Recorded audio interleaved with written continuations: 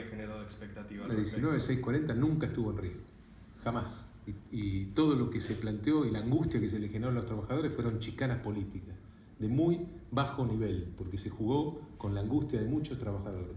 Jamás estuvo en riesgo eh, esa ley, jamás. ¿Se va a extender? ¿Hay fecha ya para? La ley, no se- la ley, La, la ley continúa, el subrégimen. La ley continúa y el subrégimen, por supuesto, lo vamos a discutir. Nosotros estamos planteando algo superador para la isla. De hecho, estamos trabajando como nunca antes en cuestiones que hacen al futuro y al desarrollo de esta provincia, el aprovechamiento total de sus ventajas comparativas y competitivas. Por eso estamos trabajando en Tierra del Fuego como un polo logístico que atienda las necesidades de la Antártida. ¿Cuándo Estamos se va- trabajando, se perdón, definiría? déjeme terminar. Estamos trabajando en el puerto de Río Grande, que claramente tiene que ser el puerto de carga Respecto y el puerto industrial, Estamos trabajando en, eh, también en, en un desarrollo turístico como nunca antes se vio.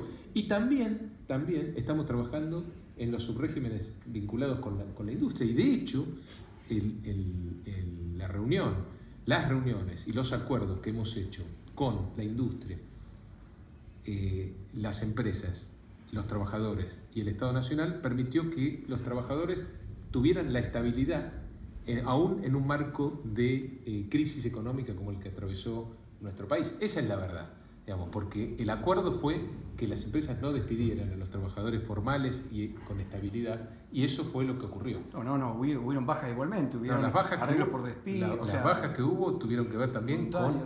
Ah, hay claramente dos eh, esquemas de trabajo. El, el esquema de los trabajadores permanentes de la fábrica y trabajadores que tienen que ver con las industrias eh, vinculadas con eh, estacionalidad. ¿no? Digamos, por ejemplo, el que hace aire acondicionado no, hace la misma cantidad de aire acondicionado todo el año.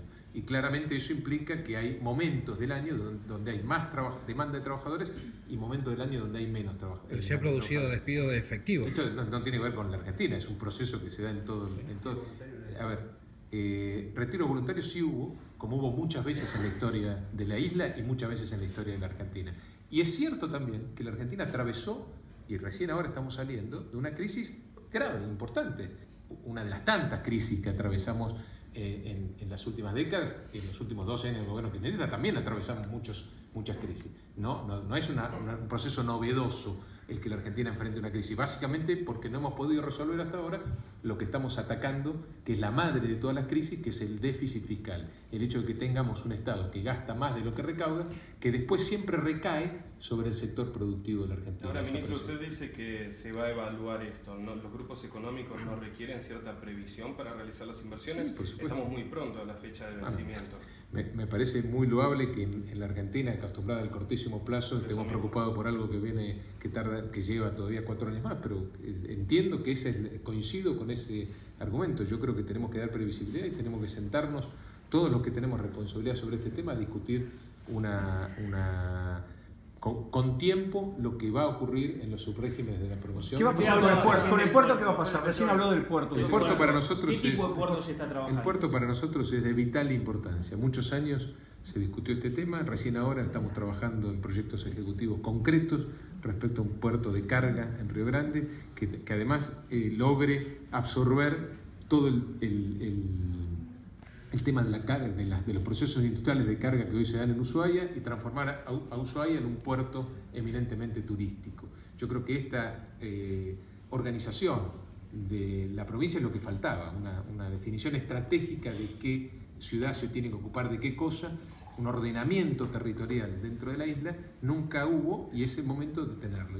Además hace falta también eh, liberar el, la- la- el proceso del puerto en Ushuaia porque necesitamos ahí generar un polo logístico que atienda las necesidades de la Antártida, aprovechando que somos la ciudad, que, que tenemos la ciudad más cercana a, a- a las bases antárticas. ¿Y cómo sería la inversión para el proceso- puerto? ¿eh?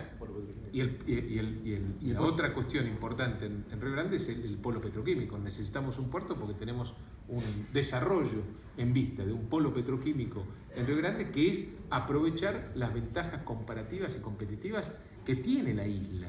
No cuestiones artificiales, sino cuestiones que hacen a la- al aprovechamiento de las ventajas comparativas y competitivas Que no de sería la el isla actual puerto, y de no Río se tiene Grande. el actual puerto que tiene la ciudad de Río Grande que está en un 10-20%. No, de por supuesto que no, realización. ¿Lo van a necesita, agregar en el presupuesto? necesita- necesitamos 2020? ¿Cómo, ¿Cómo sería la inversión? Bueno, estamos tratando de que sea una inversión del sector privado, justamente.